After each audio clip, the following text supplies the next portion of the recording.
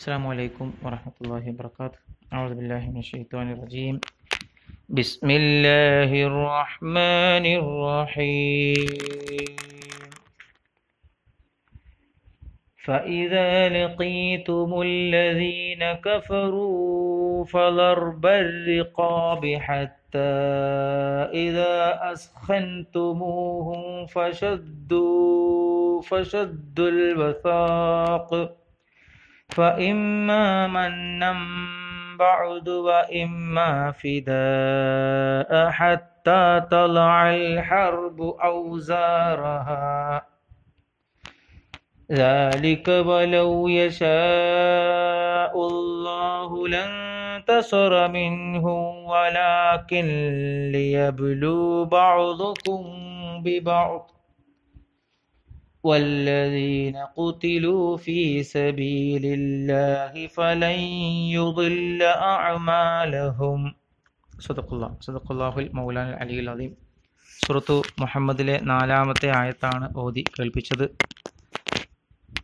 ഇതുവരെ നമ്മൾ ശുദ്ധ ഖുർആാനുമായി ബന്ധപ്പെട്ട് സൂറത്തു മുഹമ്മദിന്റെ തുടക്കത്തിൽ നമ്മൾ മൂന്ന് ആയത്തുകളിൽ ചർച്ച ചെയ്ത ചില കാര്യങ്ങളുണ്ട് അവിടെ നമ്മൾ പറഞ്ഞിരുന്നു പ്രവാചകൻ സല്ലല്ലാഹു അലൈഹി വസല്ലമയെ ഇത്തിബാഗ് ചെയ്യലാണ് വിജയത്തിന്റെ മാർഗം എന്ന് നമ്മൾ സൂചിപ്പിച്ചിട്ടുണ്ട്. എന്ന് വെച്ചാൽ പ്രവാചകന്റെ മാർഗത്തിൽ നിന്ന് ആരെങ്കിലും വഴി തെറ്റിയാൽ അതല്ല അമാലഹും. വിശ്വാസമില്ലാത്ത ഒരാളെ സംബന്ധിച്ചിടത്തോളം അതല്ല അമാലഹും അവന്റെ കർമ്മങ്ങളൊക്കെ പാഴായിരിക്കും.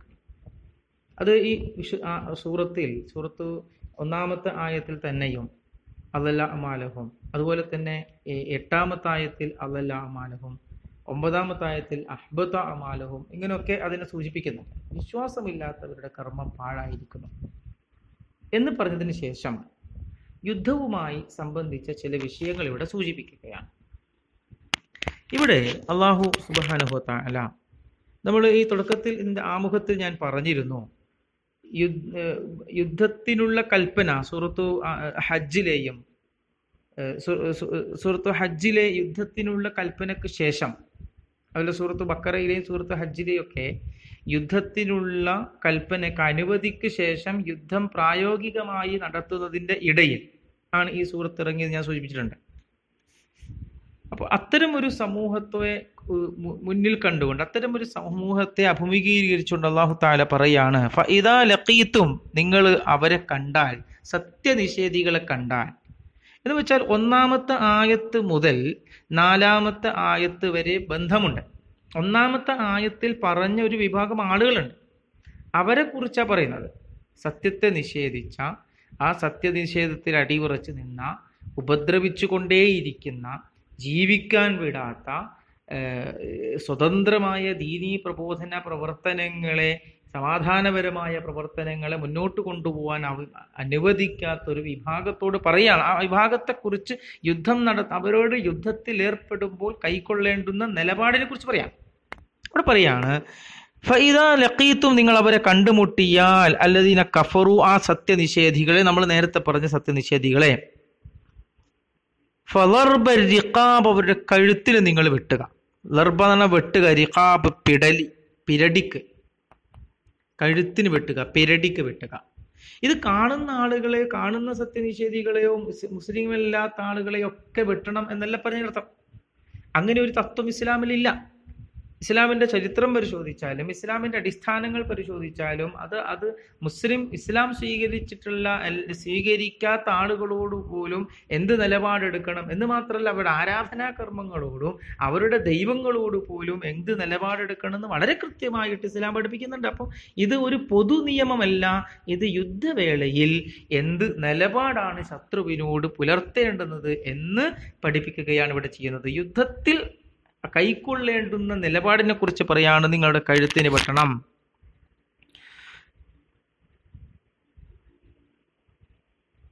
എപ്- എപ്പോൾ വരെ? ഹത്ത ഇത് ഇത് അസ്ഹൻതുമൂഹും നിങ്ങൾ അവരെ ഒതുക്കിയാൽ. ഹത്ത ഇത് അസ്ഹൻതുമൂഹ് അസ്ഹൻ എന്ന് പറഞ്ഞാൽ ഒതുക്കുക അവരുടെ ശക്തി ക്ഷയിപ്പിക്കുക എന്നൊക്കെയാണ്. ശത്രുക്കളുടെ ശക്തിയെ നിങ്ങൾ ക്ഷയിപ്പിച്ചാൽ അവരുടെ ശക്തിയെ നിങ്ങൾ നശിപ്പിച്ചാൽ അതുവരെ നിങ്ങൾ അവരെ ഒതുക്കിക്കൊണ്ടേയിരിക്കുക. അതുവരെ നിങ്ങൾ അവരെ ഒതുക്കിക്കൊണ്ടേ ഇരിക്കുക എന്നതാണ് വിശുദ്ധ ഖുർആൻ ഇവിടെ സൂചിപ്പിക്കുന്നത്.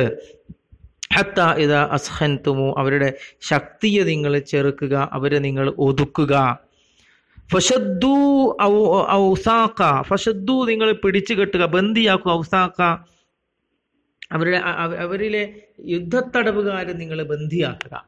ശ്രദ്ധ എന്ന് പറഞ്ഞാൽ കെട്ടിയിടുക എന്നാണ്.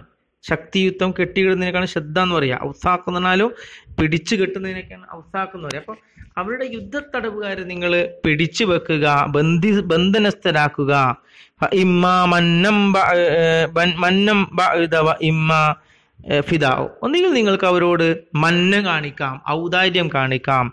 അല്ലെങ്കിൽ ഫിദാ അവരിൽ നിന്ന് നിങ്ങൾക്ക് മോചനദ്രവ്യം വാങ്ങുകയും ചെയ്യാം. അവരെ പിടിച്ചു വെക്കണം. ഇത് നമ്മൾ നോക്കേണ്ടുന്നത് സൂറത്തു അൻഫാലിൽ യുദ്ധത്തിന്റെ കൃത്യമായ നിയമം പറയുന്നുണ്ട്. സുഹൃത്തു അൻഫാൽ അറുപത്തി ഏഴ് മുതൽ അറുപത്തി ഒമ്പത് വരെയുള്ള ഭാഗത്ത് യുദ്ധത്തിൽ എടുക്കേണ്ടുന്ന നിലപാട് കൃത്യമായി എന്ത് നിലപാടാണ് യുദ്ധ തടവുകാരോട് കൈക്കൊള്ളേണ്ടുന്നത് എന്നൊക്കെ വളരെ കൃത്യമായിട്ട് അവിടെ പഠിപ്പിക്കുന്നുണ്ട്. അപ്പോൾ അത് അത് അതിന് അതിന്റെ മുമ്പാണ് ഇത് വരുന്നത്. എന്ന് വെച്ചാൽ ഇസ്ലാമിന്റെ യുദ്ധത്തിലെ നിയമം സുഹൃത്ത് അൻഫാലിലെ അറുപത്തിയേഴ് മുതൽ അറുപത്തി ഒമ്പത് വരെയുള്ള ഭാഗമാണ്. അതിന്റെ മുമ്പ് ഇസ്ലാം എന്ത് പറഞ്ഞു എന്നാണ് ഇവിടെ വെക്കുന്നത്. അപ്പൊ ഇത് അതിലേക്കുള്ളൊരു പടിയാണ്. ഇത് കഴിഞ്ഞിട്ടാണ് അത് വരുന്നത്. അതാണ് യഥാർത്ഥത്തിൽ നിയമം. ആ നിയമം നടപ്പിലാക്കുന്നതിന് മുമ്പ് കൈക്കൊണ്ടുള്ള നിലപാടാണ് ഇവിടെ പഠിപ്പിക്കുന്നത്. ഇതാണ് ഇസ്ലാം പഠിപ്പിക്കുന്നത്. അപ്പോൾ അങ്ങനെ അവരെ നിങ്ങൾ ബന്ധിയാക്കുക. അവിടെ നിങ്ങൾക്ക് അവരോട് മണ്ണ് കാണിക്കുക മണ്ണ് എന്ന് പറഞ്ഞാൽ പണ്ഡിതന്മാർ പറയുന്നത് മണ്ണ് എന്നത് കൊണ്ട് മ- മ- അ- അർത്ഥമാക്കുന്നത്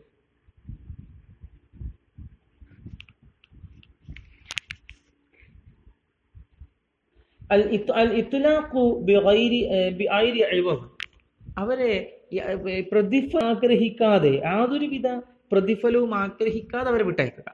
അതാണ് മണ്ണ് എന്നത് കൊണ്ട് അർത്ഥമാക്കുന്നത്. അപ്പോൾ യുദ്ധത്തടവുകാരോട് മാന്യമായി പെരുമാറുക എന്നുള്ളതാണ് അത് ഇസ്ലാമിന്റെ എക്കാലത്തുമുള്ള ചരിത്രം നമ്മൾ പരിശോധിച്ചാൽ ബന്ധനസ്ഥരാക്കിയ ആളുകളോട് മാന്യമായി പെരുമാറിയ പ്രവാചകരെയും കുടുംബത്തെയും അങ്ങേയറ്റം ഉപദ്രവിച്ച ആളുകളെ പോലും സഹാബേക്രാമുകളെ വധിച്ച ആളുകളെ പോലും ബന്ധനസ്ഥരായി കയ്യിൽ കിട്ടിയപ്പോ അവരോടൊക്കെ ഏറ്റവും മാന്യമായി പെരുമാറിയതിന്റെ ചരിത്രമാണ് ഇസ്ലാമിനുള്ളത്. പ്രവാചകനെതിരെ പ്രസംഗിച്ചു കൊണ്ടിരിക്കുന്നയാൾ ബന്ധന ബന്ധന ബന്ധിയാക്കിയാൽ ആൾ ബന്ധനസ്ഥനായപ്പോഴും പ്രവാചകനെതിരെ പ്രസംഗിച്ചു കൊണ്ടിരിക്കുമ്പോൾ സ്വഹാബേക്കറാമുകൾ വന്ന് പറഞ്ഞു റസൂലെ ഇങ്ങനെയുണ്ട് ഒരു കുഴപ്പം.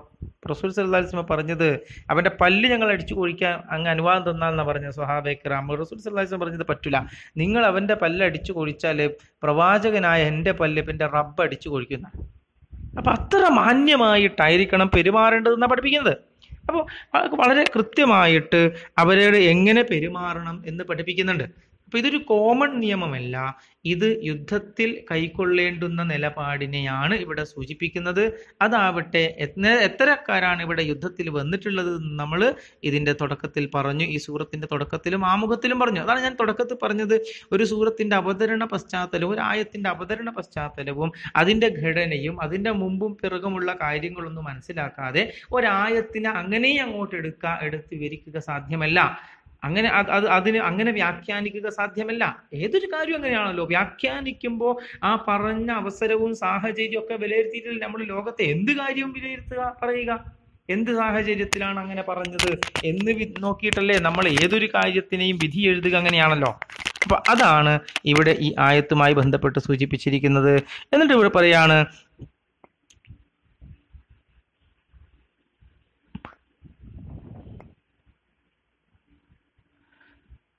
അവരിൽ നിന്ന് അവരിൽ നിന്ന് മോചനദ്രവ്യം വാങ്ങി അവരെ നിങ്ങൾക്ക് വിട്ടയക്കുകയും ചെയ്യാം. അതിൽ നമുക്ക് സ്വാതന്ത്ര്യം തന്നിരിക്കുന്നു. ഇറക്കി വെക്കുന്നത് വരെ അൽ ഹർബ യുദ്ധം എന്നുവെച്ചാൽ യുദ്ധം അവസാനിക്കുന്നത് വരെ അത് ഈ നിലപാടായിരിക്കണം നിങ്ങൾ കൈക്കൊള്ളേണ്ടത്.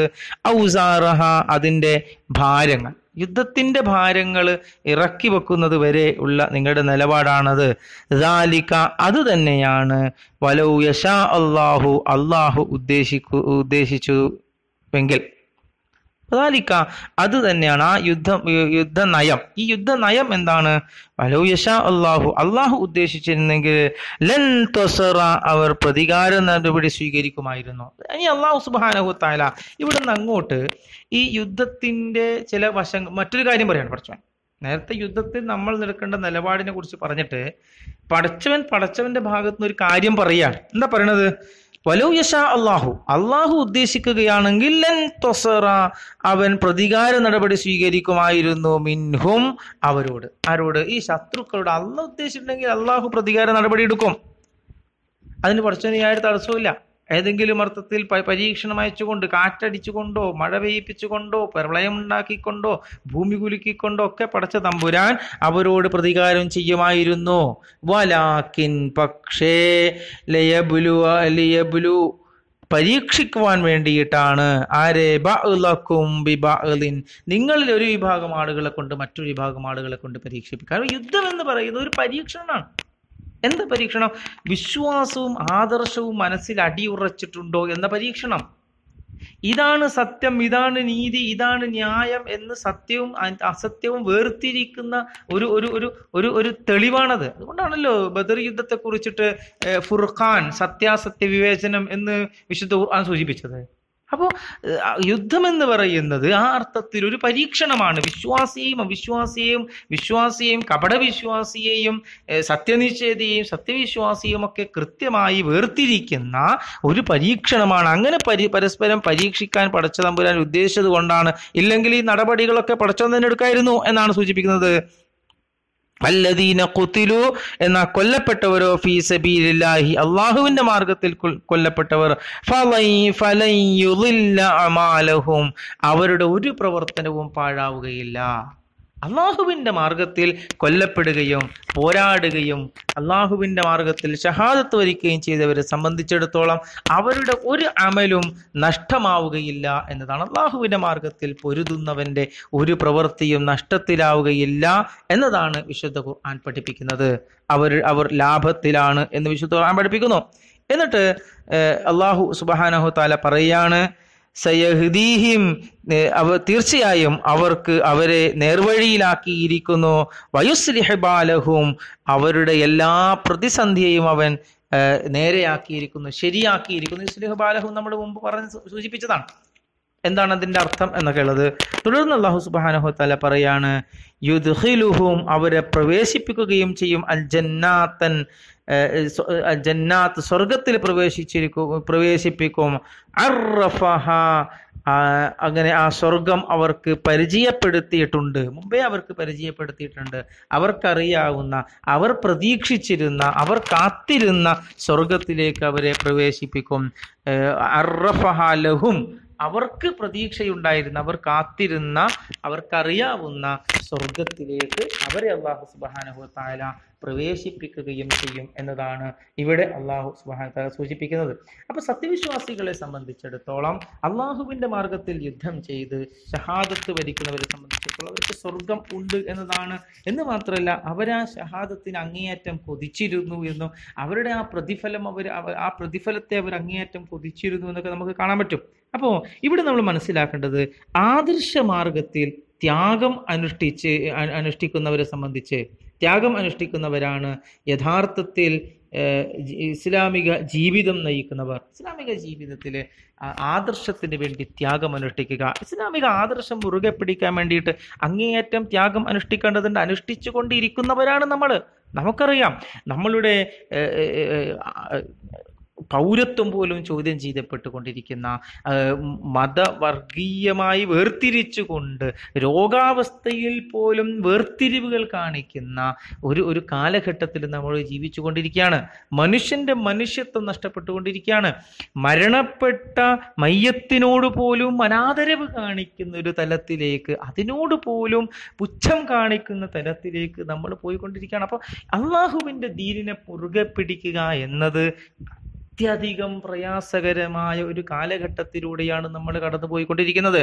അപ്പൊ ഈ കാലഘട്ടത്തിൽ അള്ളാഹുവിന്റെ ദീനിനെ സ്വർഗം പ്രതീക്ഷിച്ചുകൊണ്ട് ആരാണോ മുറുകെ പിടിച്ച് മുന്നോട്ട് പോകുന്നത്?